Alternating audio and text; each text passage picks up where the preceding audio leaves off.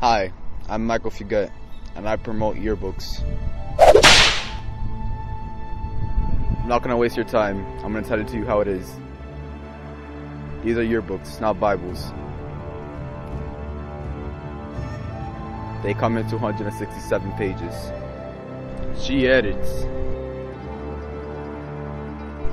She sells. And they help me pass them out. They're like time capsules. That's what you're looking for, we have them.